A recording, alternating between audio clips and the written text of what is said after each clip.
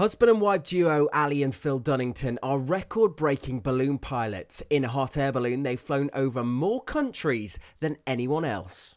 I got into ballooning by meeting this man here in 2002 in Burma when I was a tour guide, but I had the first chance to come on a hot air balloon flight flying over the 2000 pagodas uh, of Pagan and that really took my fascination. It was just an amazing, uh, beautiful flight, very calm. I didn't get sick like I would do in aeroplanes, so I immediately fell in love with the ballooning, but also with a husband.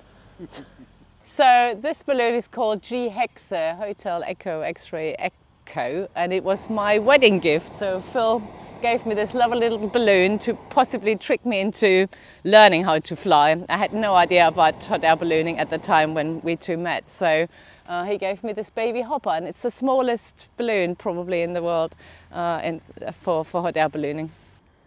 I, I, started out by being a sport balloonist and I was fortunate to uh, be involved with an airline and uh, they got me to various parts of the world that I wouldn't have otherwise been able to reach and that started my enthusiasm for flying in different countries which has subsequently become a world record.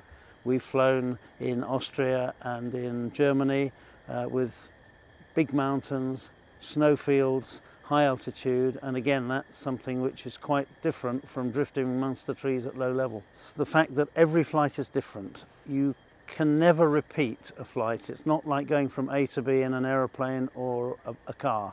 Every time you fly, the light conditions are different, the place you go from or go to is different, the people you meet, of course, are always fascinating, and uh, you get to areas that otherwise you would never go to as a tourist or a visitor.